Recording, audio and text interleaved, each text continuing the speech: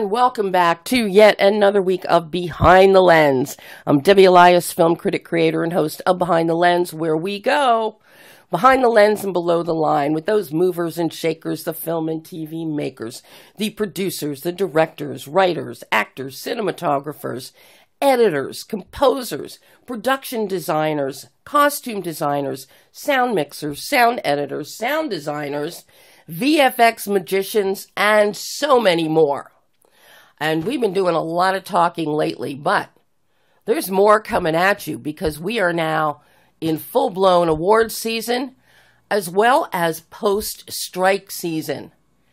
So, a lot more availability of talent has come up, and I'm taking advantage of all that I can get for all of you out there.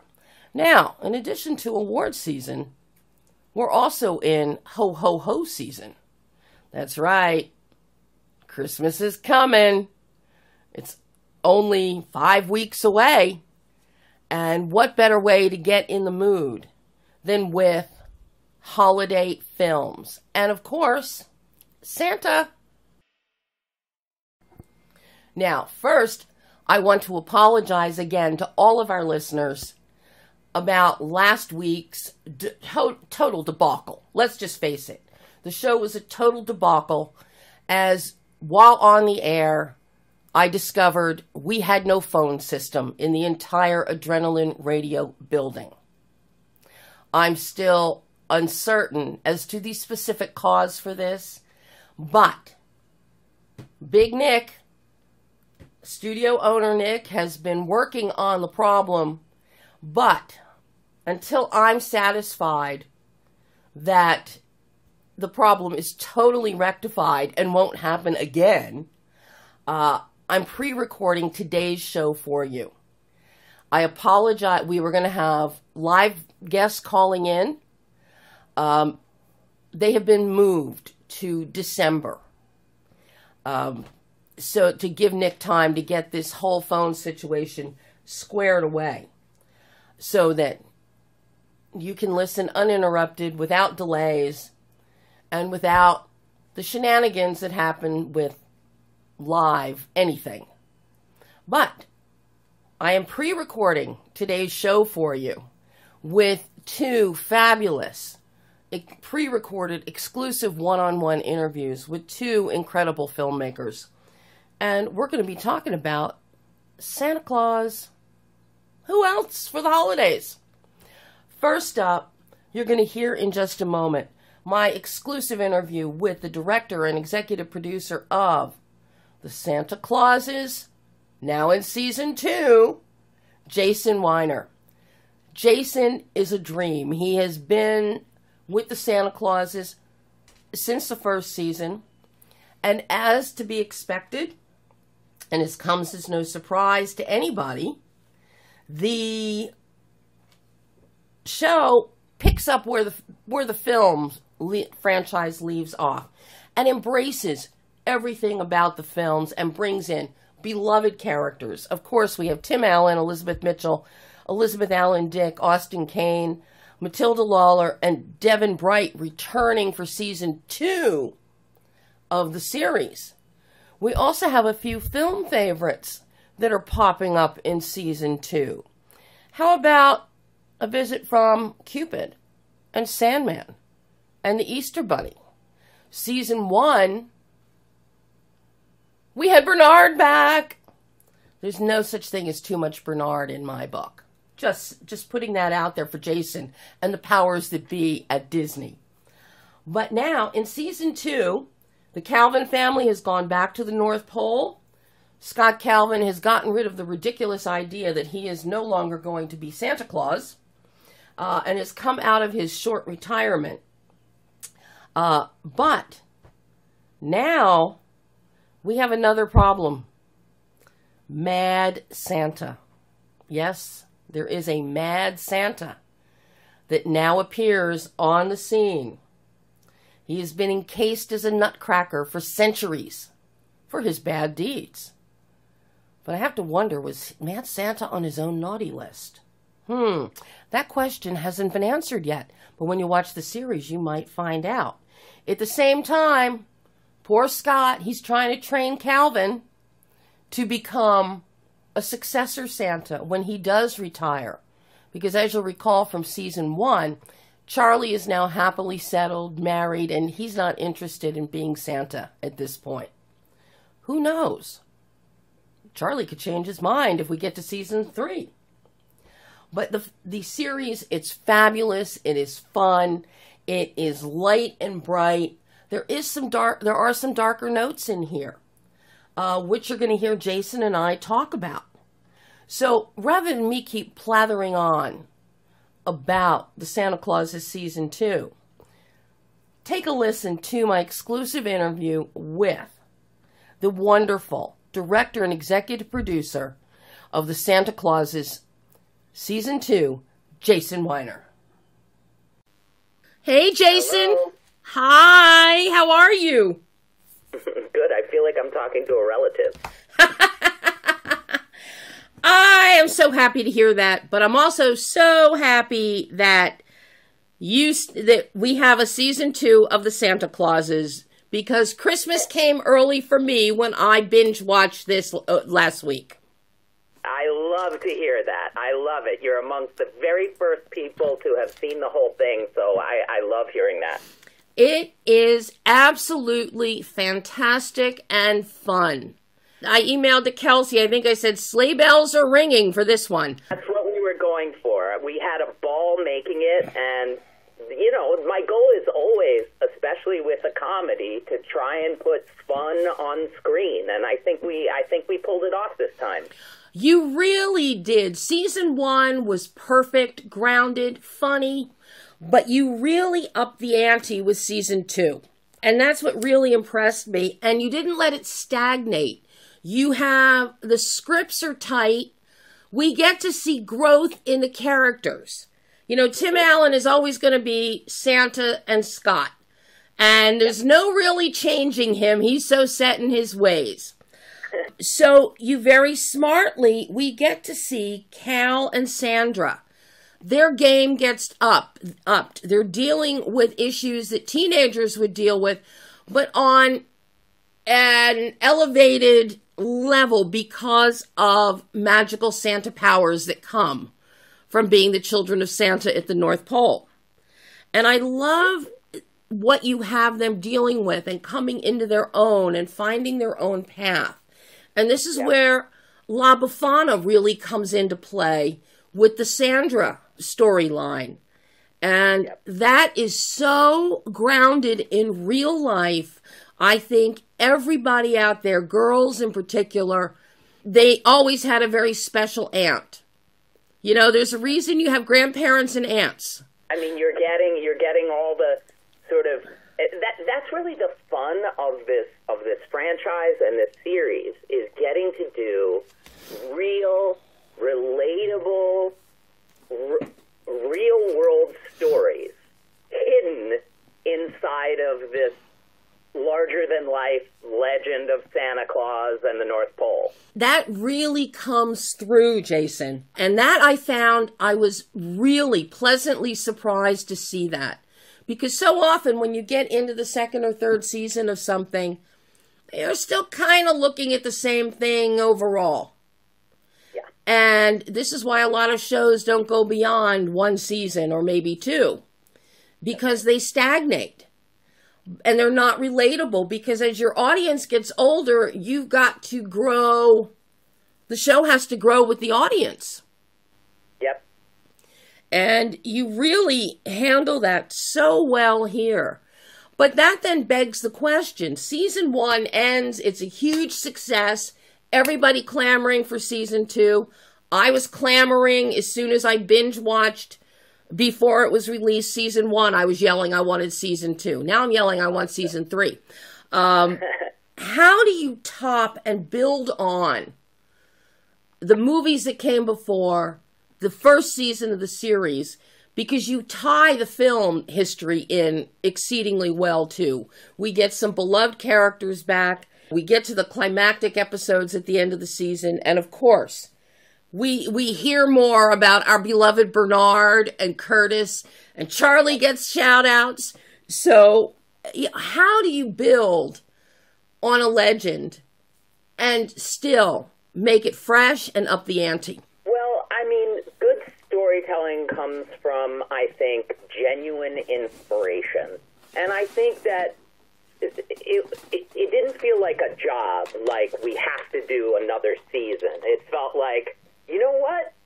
As goofy and wild as this world is, we're all having a ball and feeling inspired by it. And I think, you know, we got a little inspiration from the first season when a joking reference to the Mad Santa, which admittedly was a little bit of a, a of a Game of Thrones parody joke, Mm-hmm. was really picked up on by the audience. The audience was like, "Oh, the me- you know, it's Betty looking into the crystal that tells her the darkest time of the North Pole was during the reign of the Mad Santa." She mentions, and again, it was a little bit of a throwaway. But the audience really responded to it, wondering who the Mad Santa was and whether we would get to meet him. Um, and it stuck in in both my imagination and Jack's imagination. And um, simultaneously, Eric Stonestreet had reached out to both of us saying that he was obsessed with the first season. He watched it with his his uh, soon-to-be stepsons, and he um, just had an amazing. And, and he's always wanted to be to play sort of in the world of Santa.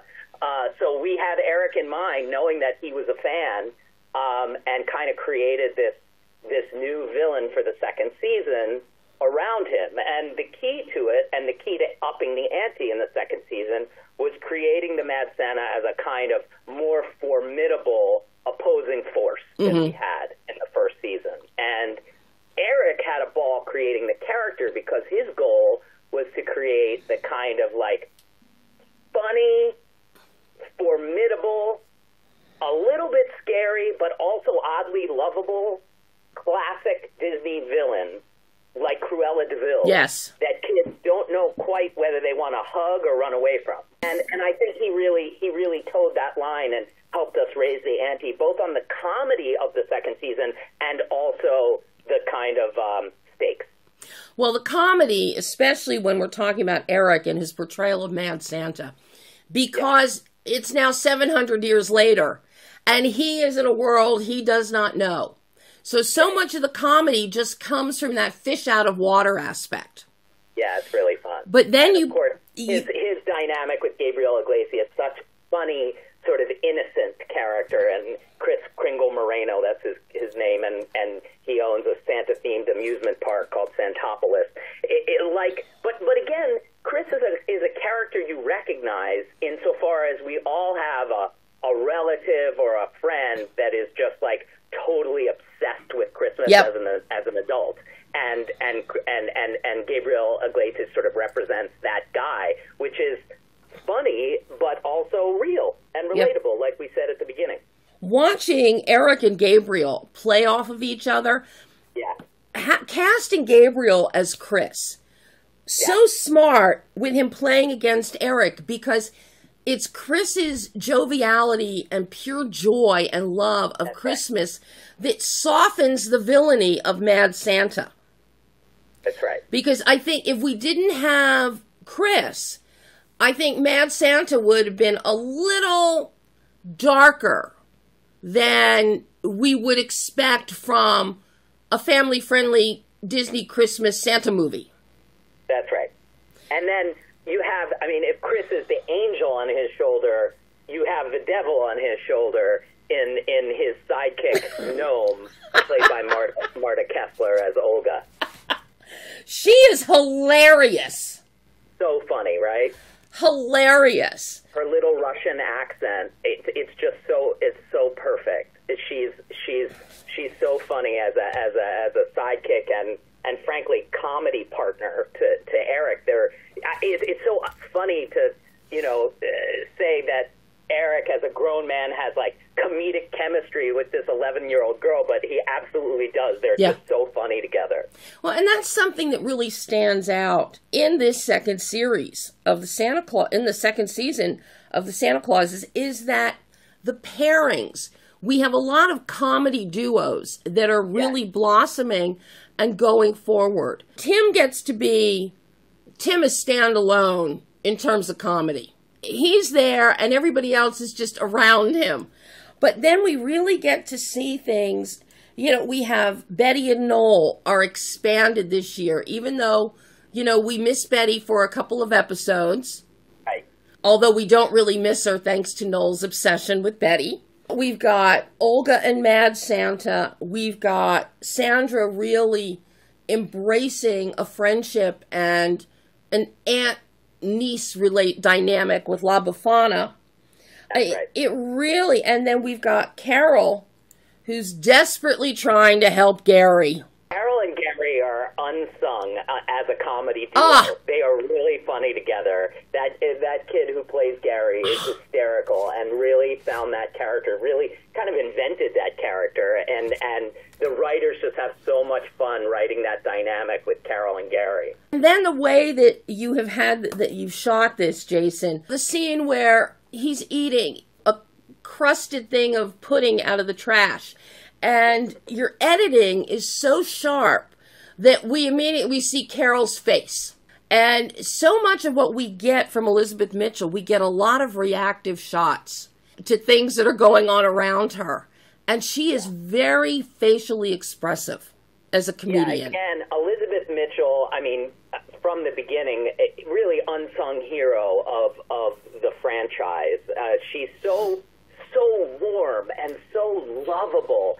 And we've actually had a, a tremendous amount of fun in the second season getting her angry a little bit. Yeah. You know what I mean? Uh, uh, And that's actually a theme of her between her and Sandra that that you know it's okay to express yourself, to express your emotions, and and that's that's one of the sort of hopefully relatable parenting themes that are in here. every mother daughter in the world is going to be able to relate to that as they think back on their lives, either in that moment or in the past. That, yep, I get it. I've been there, done that. Yeah. So, I mean, you tapped into everything that is relatable in the real world. And the fact that Santa's family faces the same kind of challenges and issues that the rest of us do, Right. that kind of makes it okay because it's Santa. That's right. And yeah, the whole goal here is to make the show really fun for parents to watch with their kids. Yeah. There's lots of stuff I think these days out there where, you know, you turn on the TV and it's good for the kids, but, you know, as the parents, I can say this as the father of, of a five year old and a three year old, you know, it kind of, make, kind of makes your eyes bleed. To, you're, you got you got to be on your phone. Whereas whereas hopefully with this show, there's a ton for the parents to laugh at, the parents to get invested in, um, whether it's whether it's the music or or the subtly sophisticated jokes coming from Jack Burditt, you know, the creator of Thirty Rock, along with his team, um, that are that that are providing this really special tone. Of course, everything is in there for the kids almost intrinsically. You have, you know, the the magical world, the elves, Santa. Kids are going to want to watch this, but the trick really is making it fun for the parents too. Yeah. And you absolutely do. I mean, the dialogue, so many double entendres, very tongue in cheek. And I was roaring. I was laughing myself silly as I'm watching this. And, eh, you know, yes, little kids are not going to get it, but parents are definitely going to pick up on the humor. That's right. And I just think that's spectacular.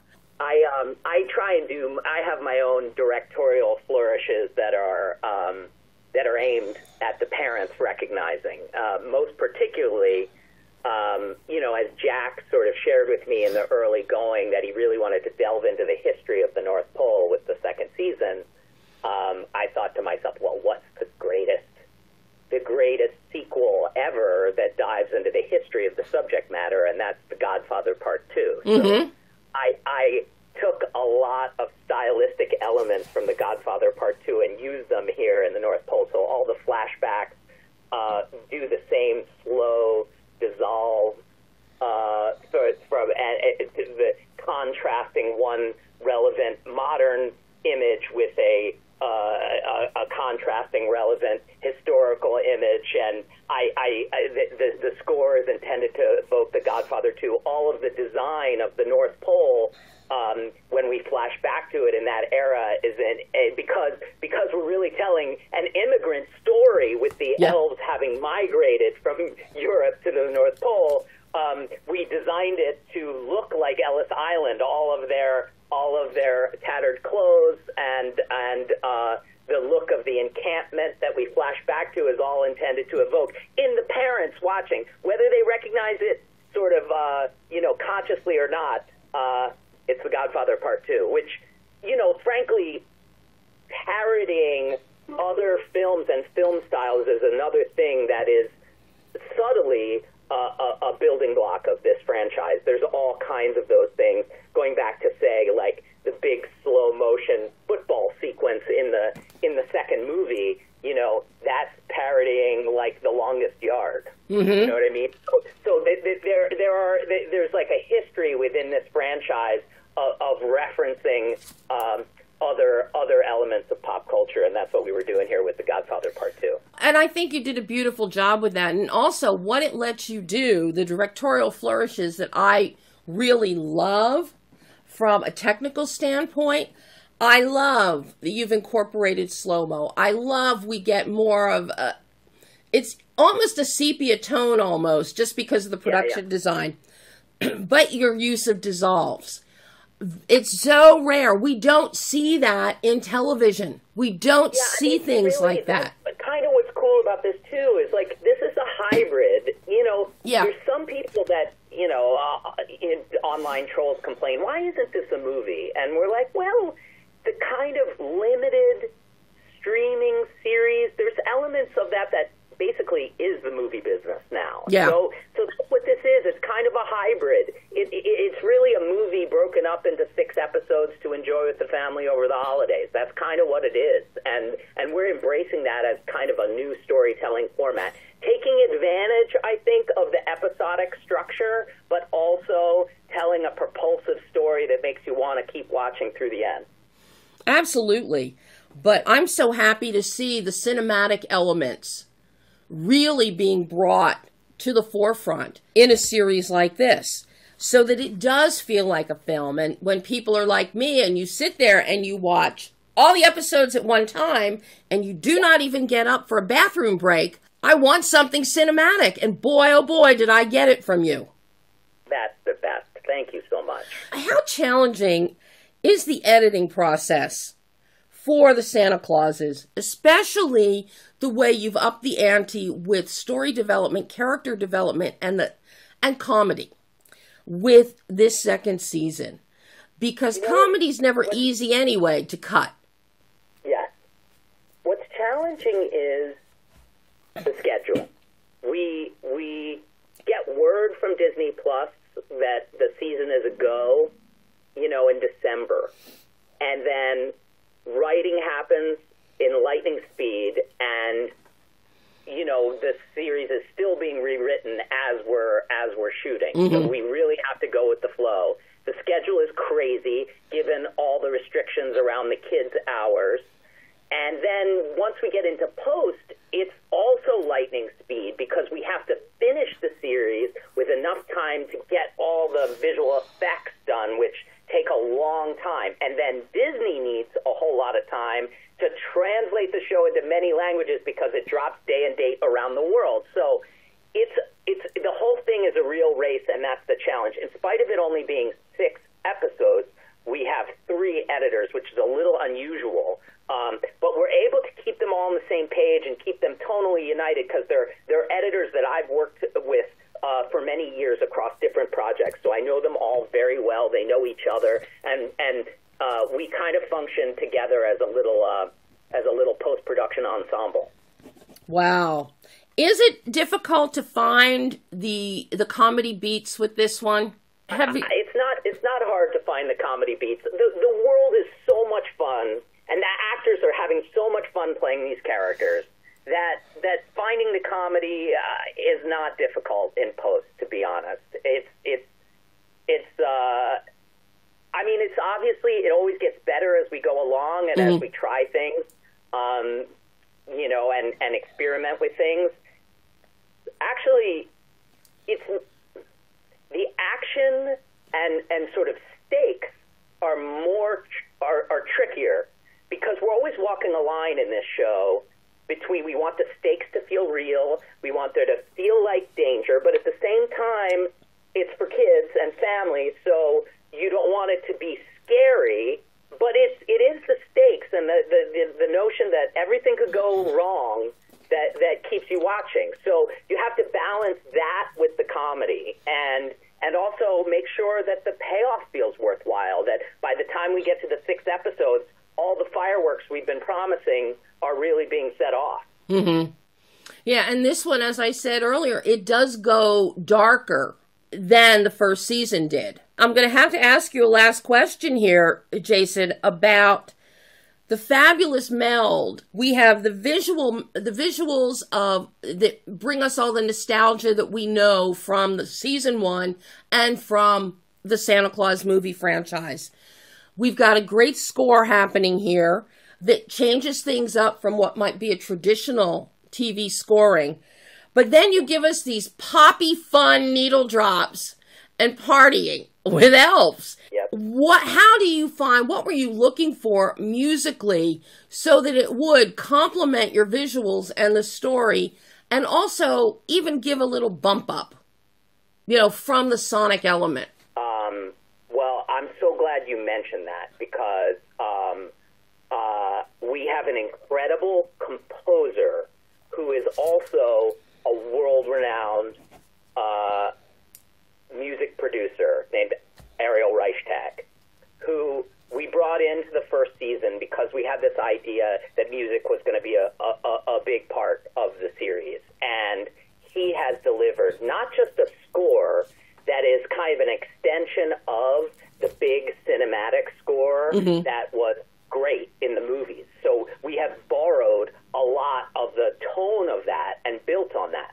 But into it, we've woven lots of Christmas carol melodies that, that function sort of thematically and that are woven through the score. Um, and then on top of that, he produces uh, many of the original versions of needle drop songs that that are are in the show. And this season, uh, you know, we have uh, we have the elves uh, singing uh, a Billy Idol classic uh, that he produced. Um, and again, that's what I was, been, was talking about with music that appeals to the sensibilities of the parents. Um, the kids might not recognize the song, um, uh, but the parents will. And uh, if we're lucky enough to do a third season, we'll have enough original tracks to really release a proper soundtrack Oh. for, for three seasons combined. You'll be able to find these tracks out there in the world from this season, but I my dream is to put it all together and, really put out a a a, a a soundtrack of these original songs. oh i would love that but more than that i want season three now jason i'm ready i'm ready Well, the show is a, a giant hit for, for, for Disney Plus. Uh, season three feels uh, it, while ne- while it's never a certainty, it feels it feels uh, like we got a good shot. well and if we get a season three i want another cameo from bernard i'm Well, just the truth is, there's so many cameos. We actually we, we have lots of cameos oh i know from obviously the the legendary figures and even even um, the Judy the elf, who's the elf who hands um, the, the hot chocolate the cocoa in the original movie. We have we tracked her down, and she makes a secret cameo as the proprietor of Judy's hot cocoa stand at Santopolis. So so we we we literally bend over backwards to connect our series to the original uh, movies uh, and, and create Easter eggs for the fans. And we have so many cameos though, and and so many roles, frankly, that we would love uh, to make. And hopefully, we get to do a, a season three, and we can we can uh, scratch all those itches for the fans. Oh, I would love it. Jason, thank you, thank you so, so much. Thank you for giving me season one and season two. And my fingers and toes are crossed for season three. That is my on my Christmas wish list. Thank you for being such a fan. I, I really appreciate all the positive feedback. And that was Jason Winer talking about the fun filled and fabulous The Santa Clauses season two. So watch it now on Disney Plus. And now we move on to another Santa Claus. A perfect casting, as far as I'm concerned, in Danny Glover. Yes, Danny Glover as Santa Claus. And wait until you watch him in The Naughty Nine, which you will also be able to watch on Disney Plus come November 22nd. That's this Wednesday. You can see it on the Disney Channel on Tuesday. So we could have the Battle of the Santas here happen playing out on Disney Plus this year. Just putting that out there. The Naughty Nine is so much fun. And this really is for all of us out there that seem to make Santa's naughty list and not get what we want at Christmas. The story is fabulous. It's Andy, a troublemaking fifth grader, kind of like a fifth grade version of Ferris Bueller, shall we say. And come Christmas, he doesn't get what he wanted. So he wants the gift that he thinks he should have. So he gets fellow naughty listers to join him to execute an elaborate heist at the North Pole. This is an incredible cast of kids. The movie is written by Jed Elinoff and Scott Thomas. They know kids, they know fun, they know hijinks, they know character.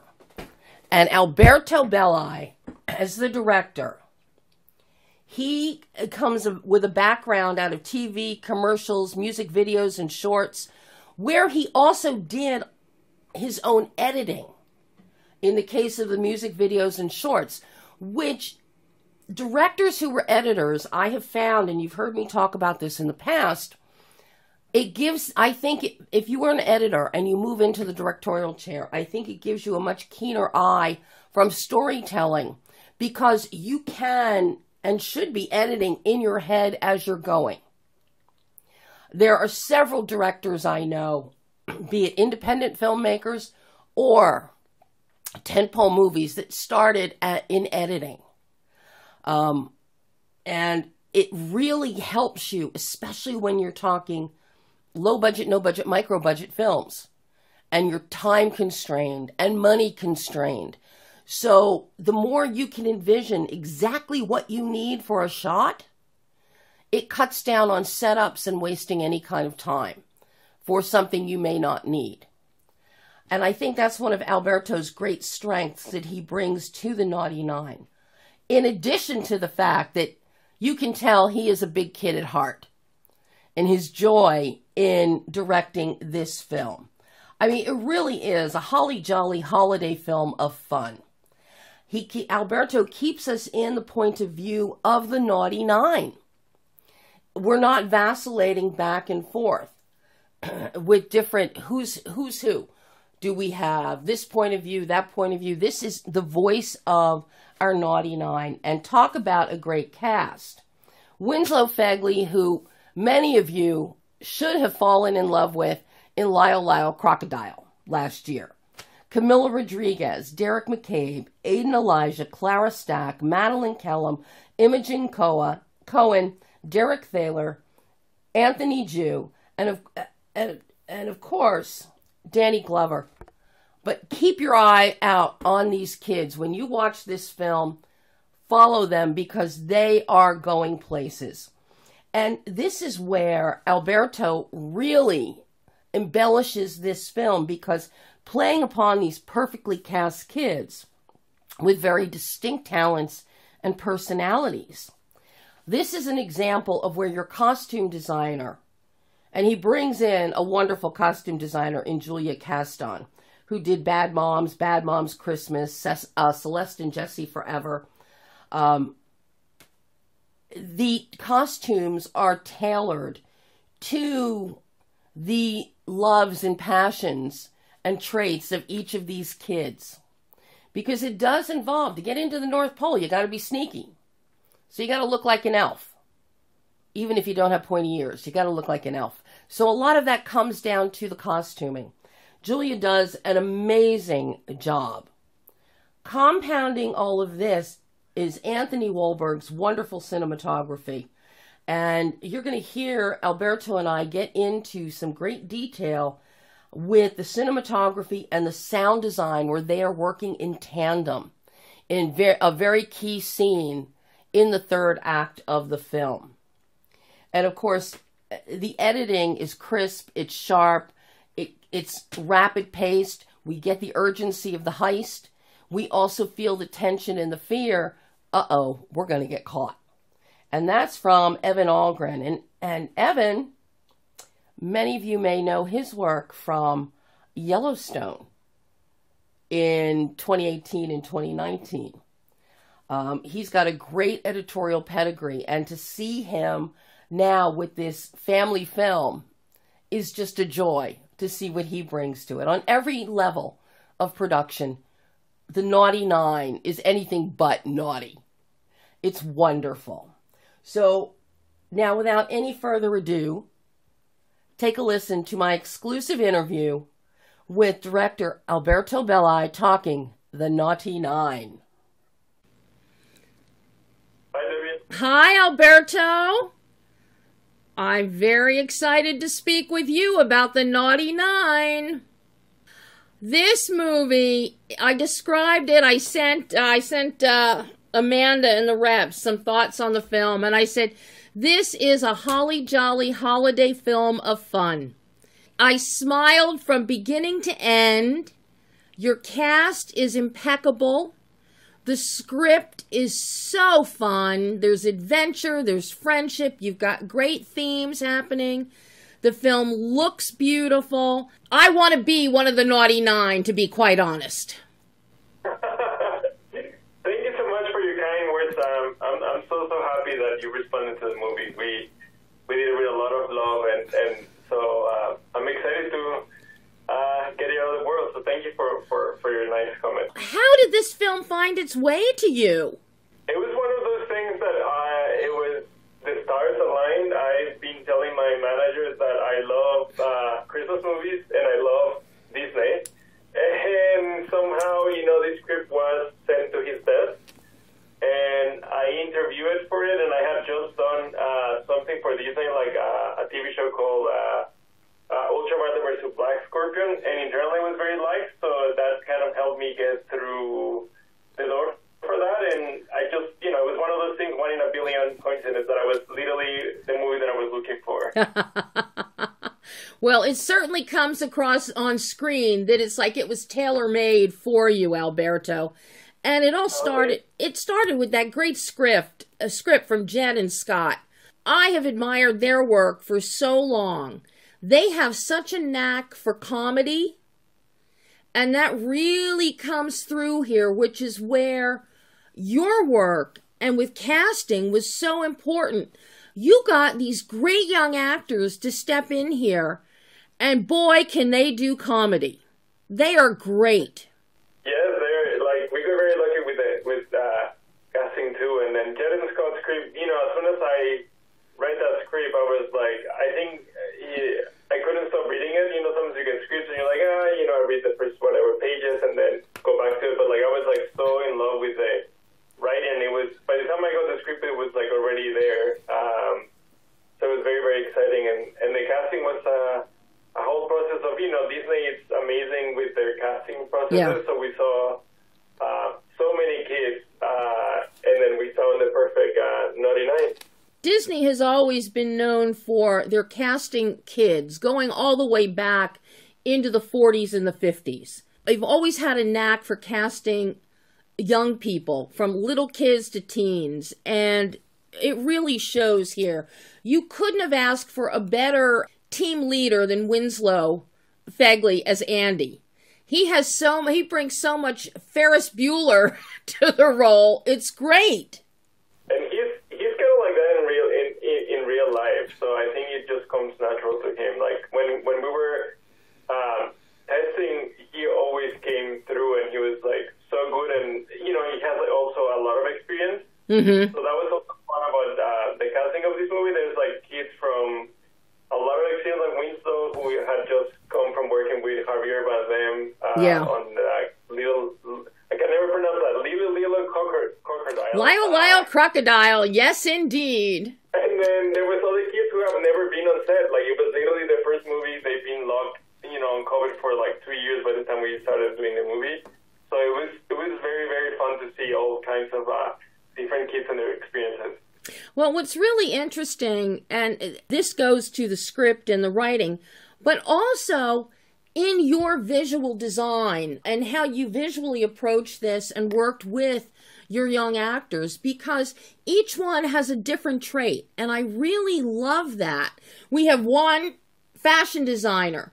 We have another one that knows how to pull out those cute sad eyes and make everybody feel sorry for him. You've got an animal whisperer. You've got a gymnast. You have somebody who excels at motorcycle, motocross. You've got just a good kid who is the spirit of Christmas and he just wants to see the North Pole and Santa. You really celebrate the dreams of all of these kids and their talents. And I really love that because there is something for every kid that's going to watch this film. They will be able to identify with one, if not more, of these characters. Yeah, like that was that was also like the great thing, you know. Again, giving credit to Jed and Scott who are brilliant. Like I think they were able to establish very specific traits for for each kid, like you mentioned. So it was uh, fun bringing those characters to life without making it stereotypical in a way because they could, you know, go on that ride. But like I feel we just found the kids who fell natural into those roles, and uh, and like you said, like I think there's a little bit maybe of each of those characters in in in each of us. Oh, absolutely. Now, talk to me about working with your cinematographer, with Anthony Wahlberg. I'm a huge admirer of Anthony's work, but primarily what I've seen for, from him are dramas. This is so different than most of what I've seen uh, uh, from him in terms of lighting and lensing. So I'm really curious about what you were looking for, what you wanted your visual grammar to be to match the frivolity and the fun that the kids were having. Yeah, I mean, uh, I think uh, what Anthony brought, which I really like, we always wanted to ma- make uh, the North Pole be kind of like magical, but always very grounded. Um, that was always the thought behind it. It was like, you know, the North Pole, in theory, Santa has been with us forever, so where he lived needed to have that sense of style. So that's the reason I think uh, Anthony was a great fit because he was able to make it magically grounded. And a very um, important aspect was also like the night. We wanted to make sure that we could see the night because a lot of lately, a lot of movies and TV shows tend to make like the night so dark. And I'm Yeah. like, I don't remember those, you know, the nights being like so dark in those movies. So we went like really on the 80s, kind of like Spielberg and the Goonies and all those movies where like the night were like lit properly and blue. So we played a lot with that. Um, and then, yeah, I think I think again Anthony brought that like realism that I think ba- ba- balance out like the story. This begs the question you bring up the North Pole, which is magical just looking at the wide shots, the aerial shots, and then when we're on the ground. How much of that was actually a physical set? How much did Nicholas LePage actually and his set decorating team actually design? Or did that get CGI'd in at some point? Um, I would say that's a great question. Uh, I would say we build we build actually a lot of the Mhm. um, in a place in Montreal. We basically built a plaza and a long street because we needed to do all the stone uh, stones for the chase and all that stuff so we could reuse it. You know, like we basically it was like one long street that we keep like redressing or changing stuff to make it look like a new street. And the plaza was for, uh, you know, where the San, Santa statue is, we needed to be able to go around and around and around. And also the exterior of the wall, like, uh, of the gate, that was practical. Of course, you know, everything behind it is not, but I Right. would say, I don't know, like 50% it's practical. Same with, like, the ice chasm. It was all, um, most of it was, like, actual Mhm. It was really good for the kids, you know? Like, you just step into those sets and you felt it was magical around it. And uh, that was also something very important for me. I was like, again, going back to the movies that I grew up with, I was like, oh, I think we need that realism, uh, even if they're imperfect. I think that's the beauty of of uh, movie making. Oh, absolutely. And of course, especially when you're dealing with kid actors, their imaginations really get fueled and enhanced if you put them into an ice cave or you put them into a castle. I think that really ups the ante with their acting skills as well because they really experience the wonder of what they're seeing and doing. Totally, yes. Now I've got I have to ask you about Danny Glover as Santa. God, he is so perfect as Santa. But something that you and Anthony do and you and your sound people do in the third act with Santa meeting with the Naughty Nine, you and Anthony, you actually have the camera dutching up to Santa so that he always comes across as this larger than life, imposing figure. As he's up at his desk and you've got Andy down on the on the standing on the ground. So you can get that sense of power and who has control at this moment. And it's not Andy. It's not Andy so I love that you do that, but then you take it a step further with your sound design and your sound people so that while Santa is talking to Andy and then to the Naughty Nine, we're getting almost like a slight reverb so that Danny Glover's voice fills the whole room. Yet when the kids talk, it's just a normal little conversational level. And I love that distinction within the sound because it really gives that omnipresent sense to Santa. Was this something you guys talked about? Was it something that came up in the editing process? Because I just think that marriage between the camera dutching and that sound of Santa speaking is so perfect you. I, I so appreciate you. You pick up on those uh, little details of the of the craft. Um, I mean, there was always a conversation we wanted. It was not your jolly, holy uh, Santa. You know, we wanted someone very imposing, and that's that's the reason uh, Danny Glover, like you said, like felt perfect for this role because he's very imposing, and he's actually very tall in real life, which mm-hmm. I didn't also realize. So he's like very imposing, even even without the you know the tricks that we did. But it was always about um, how do we make him feel bigger than than life, and one of those things was like, well, I think we you know we need to put the camera he looks even taller. And definitely um, during the sound design of the whole movie, was always like Santa should feel like his voice is kind of like everywhere. And again, mm-hmm. Danny's voice is like so deep that it was like so yeah. great to be able to um, do that effect with a feeling super force. Mm-hmm. Um, so it makes me so happy that you you saw those little. I absolutely, the minute I heard him speak, in not, you know, when his back was still to us by his fireplace and his feet are up, we haven't seen his face yet. But once he gets into the into the throne room to meet with Andy and then the rest of the Naughty Nine, that was perfection. I was so thrilled to see and hear what you did with that scene. That just impeccable filmmaking. Impeccable. Thank you. Thank you. Uh, you're making me blush. the editing, editing with comedy is always tough. You've got comedy, you've got action, you have some moments of gravitas. Now, your editor, Evan Algren, I love his work, but everything that he does is really very serious. Yellowstone, Fortress Sniper's Eye, which is like razor sharp action. The Institute, which is creepy. He's an interesting choice for the Naughty Nine. So I'm curious about you your work with Evan on the editing of this film. It was I actually was like so fun and blast. I usually uh, have a hard time editing uh, because sometimes I usually edit my own stuff like commercials and, and other stuff I've, I've done. So I, ha- I always had like trouble finding the perfect guy, but I think Evan like really was able to understand stories first, and I think that's the most important thing for me for for for an editor to have. Like, even if his other stuff was like you mentioned, uh, very uh, different, I guess, in tone. Yeah. Tell the right person. He really understood story, and he understood what was the point of every every scene. And you know, like the actors are already kind of like delivering the comedy, and it was more about how do you make uh, make it stories. He knew what was the point of every every story, and then we also needed someone who could cut action, which was there's not a lot of people who can do uh, action really uh, that uh, that we that we're meeting. So he was like really good at like he had everything, I guess, like story, but again, story, story, story, and he was.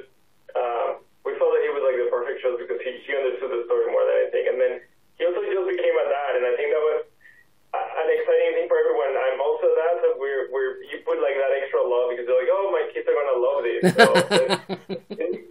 So let's, let's really get made amazing. Yeah. I would be remiss not to ask you about your incredible costume designer, Julia Caston.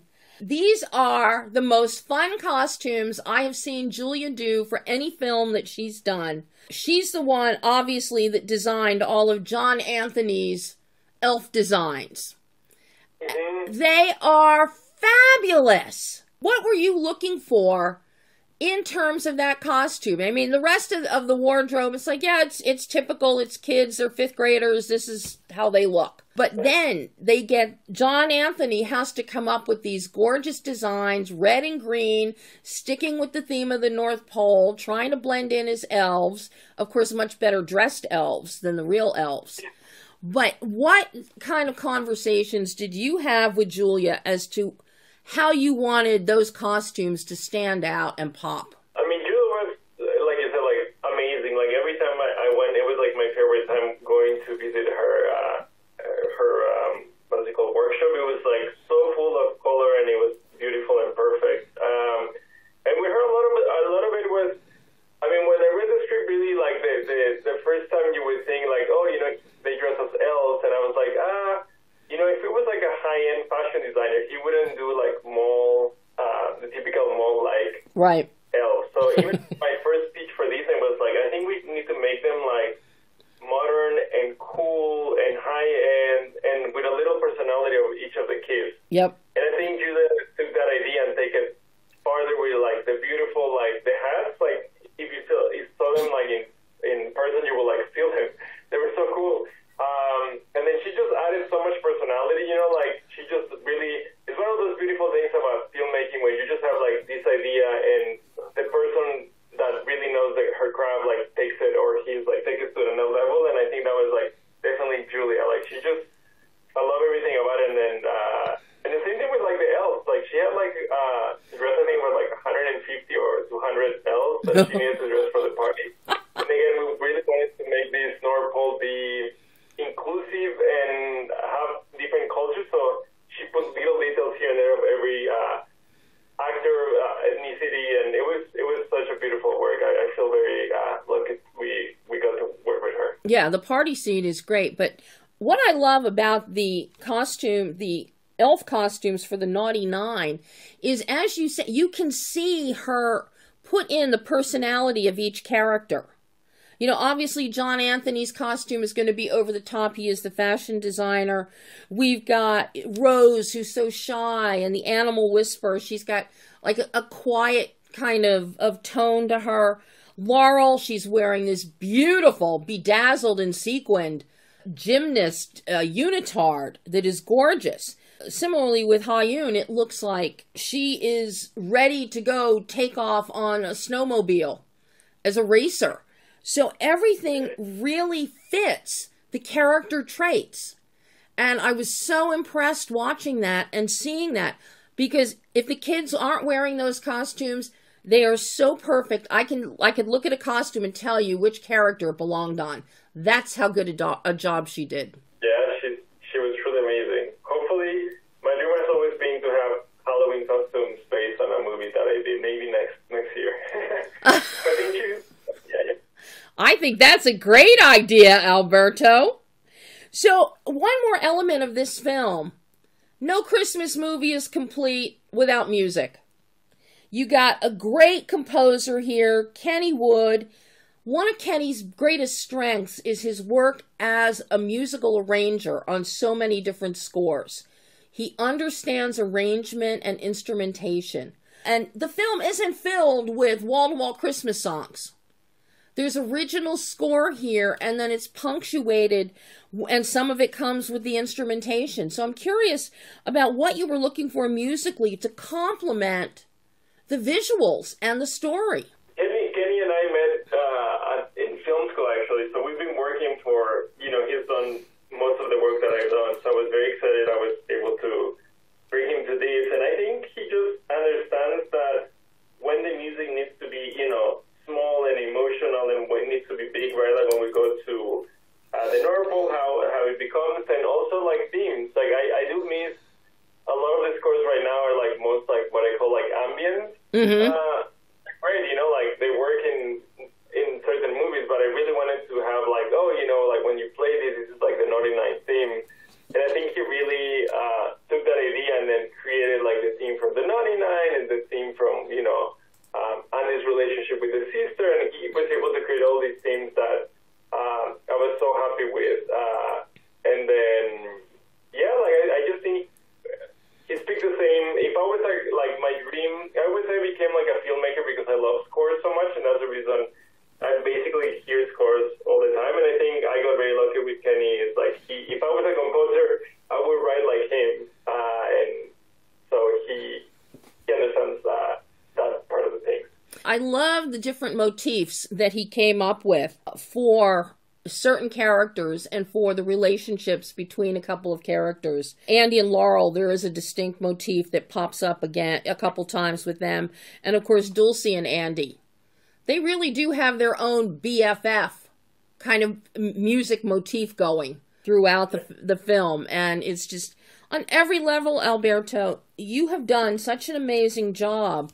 So now I'm curious. I've got one last question for you. What did you learn about yourself as a filmmaker making the Naughty Nine?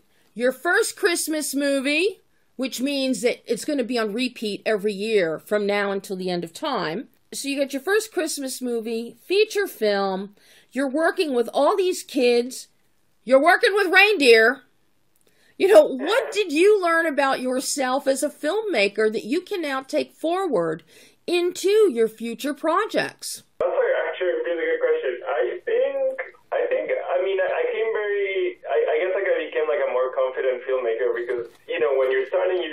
Usually they tell you like, don't work with kids, don't work at night, don't work in animals, don't do stunts. So this movie literally had everything at once. And I feel, um, uh, you know, I was, I, I was able to learn how to manage all these challenges and, and still uh, deliver something. And another thing was like, I, I used to be a compu- computer science engineer and I always loved VFX.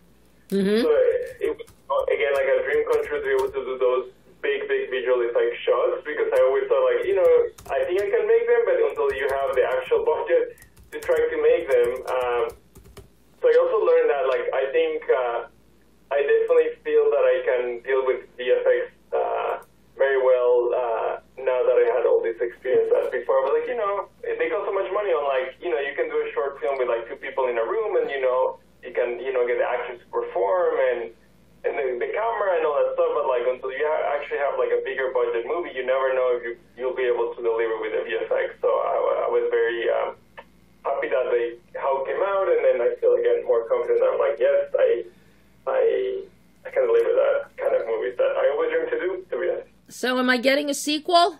Oh, I hope so. I, I don't know. I, you know, the minute this one ended, I'm like sitting here and yelling, "Oh my god, a sequel! A sequel!" Oh, thank you. I mean, like, I, I hope so. I mean, the kids have grown, so we'd have to, you know, get a little bit creative. How do we keep the, the momentum with the kids a little bit, especially Winslow? I mean, if we knock on wood, then I don't know if it's going to happen, have like a premiere or something.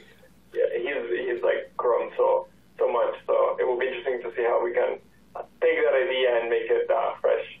Well, he could mentor a new group of Naughty Nine. Santa told him, I need your help. So he could turn into a mentor, even if he is now 17 years old. Yeah, Alberto, this has been so wonderful getting to talk with you about the Naughty Nine. I love this film so much, and I love your work, and I can't wait to see what you bring me next. Oh, thank you, Debbie. Uh, it was such a pleasure, and, and I appreciate like you're such a good interviewer. Plus, you really understand the craft. So, you know, when I was reading and hearing all the podcasts, I was like, oh wow, she, you know, it's it's gonna be so exciting because you you get deep into the craft while always you know making accessible. So I I, I appreciate uh, this interview so much. Oh well, thank you, and I hope we get to chat again in the future. Yes, for sure. Thank you, Debbie. Thanks, Alberto. Bye bye. And that was Alberto Belli, director of the Holly Jolly holiday film of fun, The Naughty Nine. It is on Disney Plus on Wednesday the 22nd. If you have Disney Channel, you can see it early on Tuesday the 21st. The Santa Clauses, Season 2, currently on Disney Plus. And if you need to get caught up, Season 1 is there too. So, as I said, I think we could have the Battle of the Santas happening on Disney Plus this holiday season. This is all the time we have for this show. We will be back on Monday, December 4th. I had already planned for November 27th to be dark, the Monday after Thanksgiving, only because I'll probably still be in a tryptophan coma from eating an 18 pound turkey over the weekend. But come December 4th, jam packed show, December 11th, jam packed. December 18th, the last show of 2023. Jam packed. And then hopefully we will be back in January to kick off year 10 of Behind the Lens. Can you believe it? But for right now, in the interim, if you need more Behind the Lens, go to behindthelensonline.net for re- movie reviews, interviews, trailers. Uh, check out the archival materials with all of the TCM Film Festival red carpet interviews. Um, there's oodles of stuff on the website for you to check out. That's my pitch for today. So until December 4th, I'm Debbie Elias. This is Behind the Lens.